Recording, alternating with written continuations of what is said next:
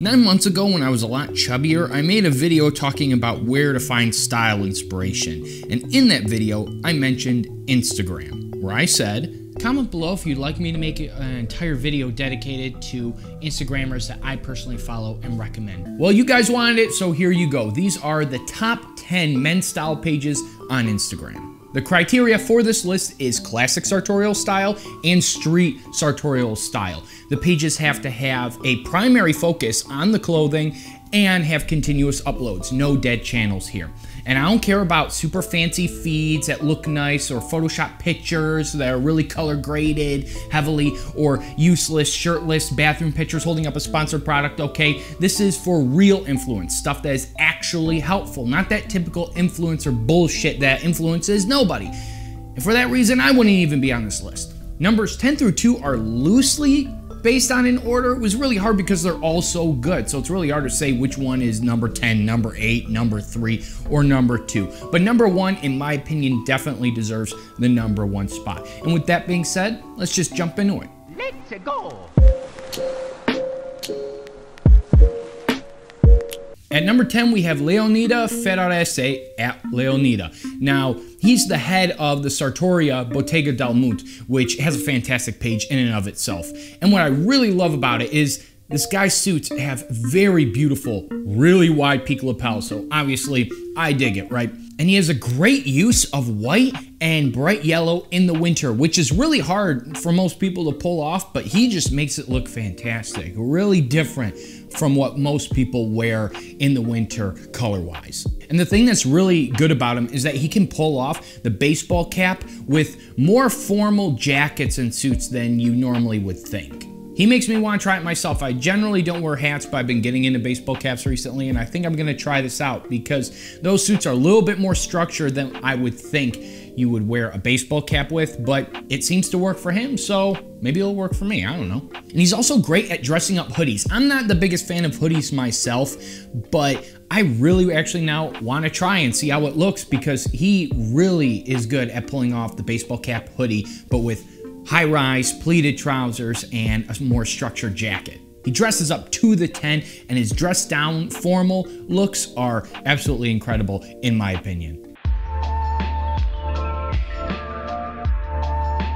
At number 9, we have Jamais Vulgaire, which is a French menswear blog, which translates to Never Vulgar. This page has such great outfits and pictures of outfits. And he really goes, whoever runs this page, into detail in the description on what makes it look good.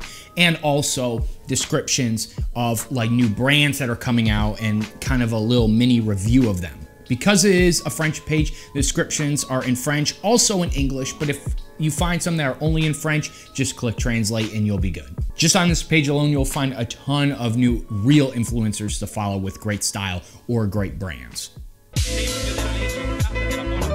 At number eight, we have Danilo Carnevale at Danilo Carnevale. Now, this dude loves his white pants and he pulls them off so well. And they're not like, you know, high rise pleated, nice dress pants that are white with a nice crease down the center and cuffed.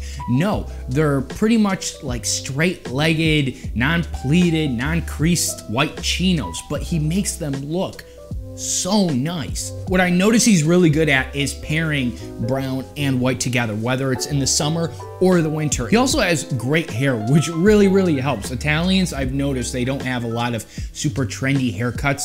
It's a lot more classic, and usually they have their hair very long. They like it long, and this proves how great it looks. I'm trying to grow out my hair if you can't tell, so we'll see. I'll probably butcher. I'll look like Napoleon.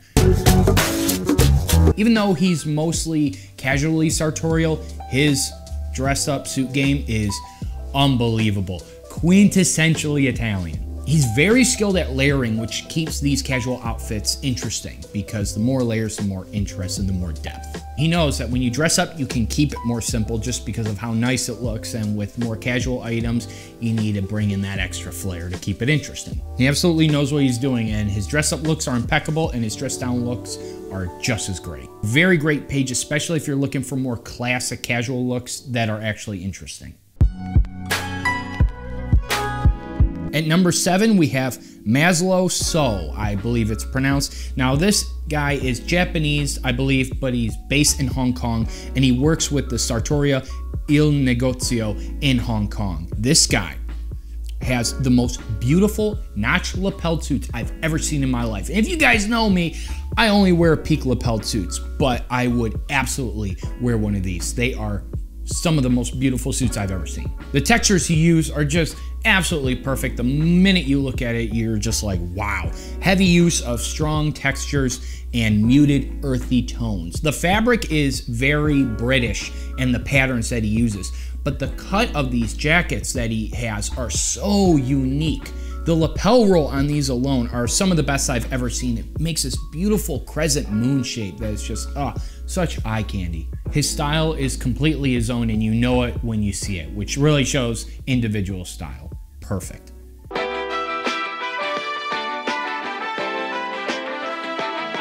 At number six, we have Brian Sacawa at He Spoke Style. And now, Brian, I mean, this guy is a master at dressing well, and he's got such strong knowledge on sartorial style. He really, really does know and understand what he talks about. He has one of the best YouTube pages as well. I mean, I actually watch like pretty much every one of his videos, which is very rare for me. And his Instagram page is just as good. He finally made a good use of Reels because normally, you know, they're no good. This is usually, you know, TikTok thoughts that are just twerking. This guy looks fantastic. Now he would have looked great decades and decades ago, and he'll look great decades and decades in the future. And he's the only American on this list, which is shocking, but it just shows you that he just dresses absolutely impeccably and he knows what he's talking about and he's helpful and he uploads frequently. So, fantastic page and a fantastic YouTube channel. Just a great guy overall.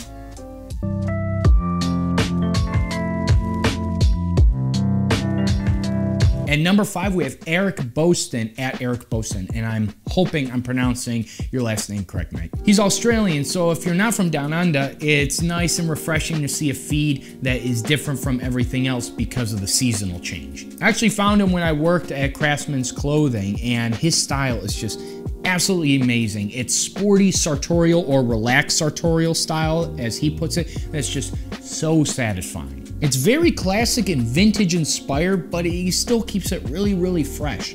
And he proves that you can tuck in your shirt to your jeans and still look crispy. Whether he's dressed up in a full classic suit or dressed down more casually, he always looks impeccable. And he's a super nice guy. This guy proves that followers don't mean jack crap, and I really do believe he is one of the most underrated on the entire platform.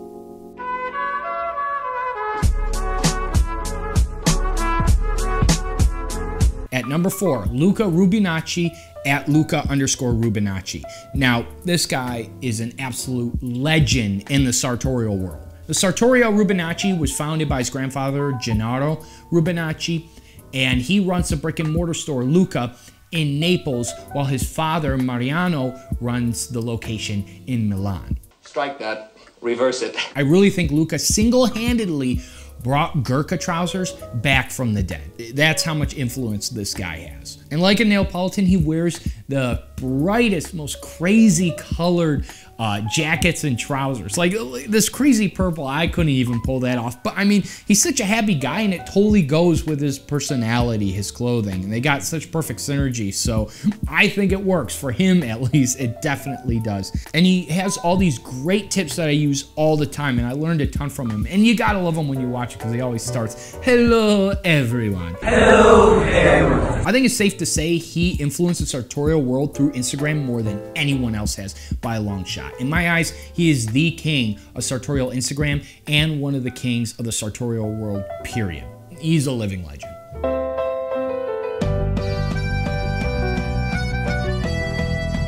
Number three, we have Zane Lim at The Zanification. And man, this guy, he's young, built, but dresses extremely classically, but not being boring in the slightest. I mean, texture and fit heaven here. You see it and you're just like, oh, like the stuff that he wears is unbelievable. Great use of patterns and muted earthy tones. And his descriptions though are so detailed and on point. I learned so much about suit fit, trouser fit, and all that from his descriptions. And he really goes deep into them, and especially with products themselves. And his reviews are amazing, and many times they're in two parts. They'll say part one of part two or part two of part two, and it's so in depth and detailed. If you're looking for brands, then he's perfect. I've personally found a ton from him, and I read his reviews, and then he tags the actual page, and then I go to that website and see what they have. It's perfect.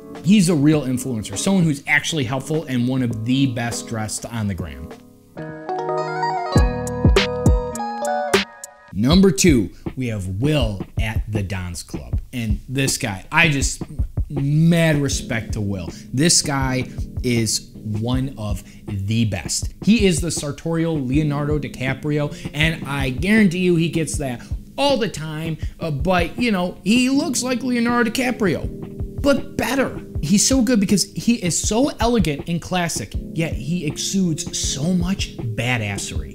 And that's one of the great things I love about his page. It's just the detail he goes in in the description. He's not posting pictures for just the sake of posting pictures. How he dresses is much more classic in the fit and style than I wear, but I look at it and I go, that's absolutely beautiful. Works of art. He wears works of art. One of the very best on the gram, hands down. And before I go to number one, if you guys are enjoying this video, please press the like button, subscribe if you haven't, and turn on the bell notification icon so you'll actually be notified when I drop a new video because YouTube doesn't understand what subscriptions are anymore. So if you could do that, that would be amazing. Papa bless. Now, let's get to number one.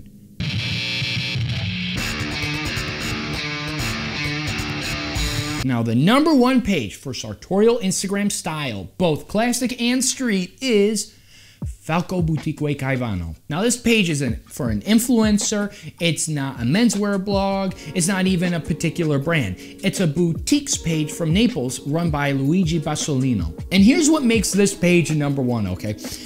This guy, whether it's on himself, Luigi, or on a mannequin, this guy can layer, pattern match, color block, and use textures better than anyone I have ever seen, ever. I mean, just unbelievable. I have yet to find someone who does all those things better than him. He goes places I never would think of going in terms of colors, textures, and patterns, but they actually work, which is the oddest thing. I mean, look at this picture right here. I mean, with this, you have brown, you have beige, you have blue, you have navy, you have yellow. I mean, so many but it works and it's not overwhelming. That's the odd thing about this.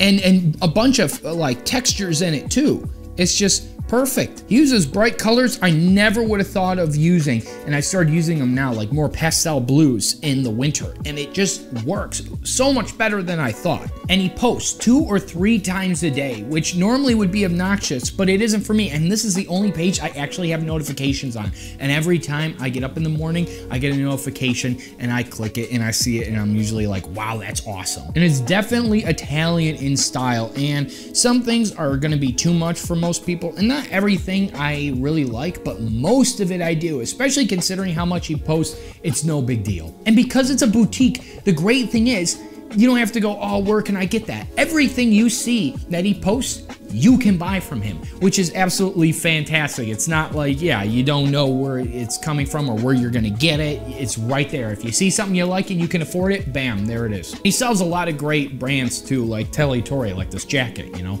So absolutely fantastic.